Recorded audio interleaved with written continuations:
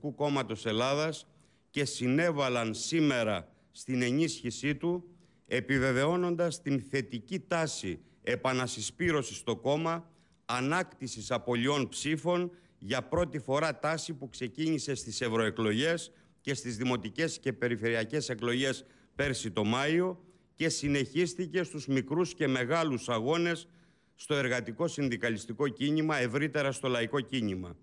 Ιδιαίτερα θέλουμε να χαιρετήσουμε τους ψηφοφόρους που για πρώτη φορά ψήφισαν Κομμουνιστικό Κόμμα Ελλάδας, εκτιμώντας την σταθερότητα, τη συνέπεια, την ανιδιοτέλεια του ΚΚΕ. Το γενικό εκλογικό αποτέλεσμα εκφράζει και μέσω της κάλπης την μεγάλη δυσαρέσκεια και οργή του λαού μας για τα κόμματα της Νέας Δημοκρατίας και του Πασόκ που τον βήθησαν στη φτώχεια, στην ανεργία όλα αυτά τα χρόνια της οικονομικής κρίσης. Βέβαια, εκφράζει σε μεγάλο βαθμό και την απατηλή ελπίδα ότι η νέα κυβέρνηση του ΣΥΡΙΖΑ μπορεί να ακολουθήσει φιλολαϊκή πολιτική.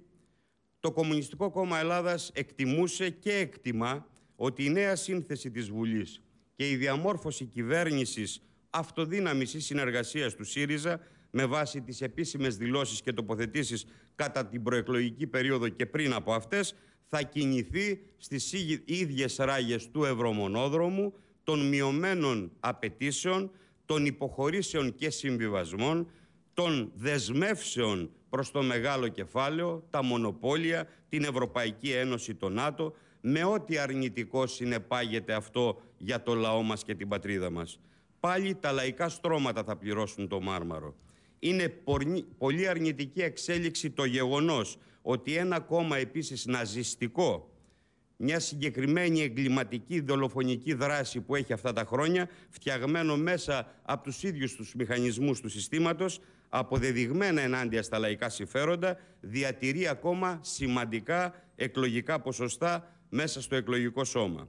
Συνολικά εκτιμάμε ότι χρειάζεται να δυναμώσει ακόμη περισσότερο μέσα στο λαό, στο κίνημά του, η γραμμή της αντιπίθεσης, της ρήξης, σε αντίθεση με αυτό το δρόμο, τον καπιταλιστικό δρόμο ανάπτυξης, την Ευρωπαϊκή Ένωση, την πολιτική που στηρίζει αυτό το δρόμο με την ενσωμάτωση, την παθητική προσμονή.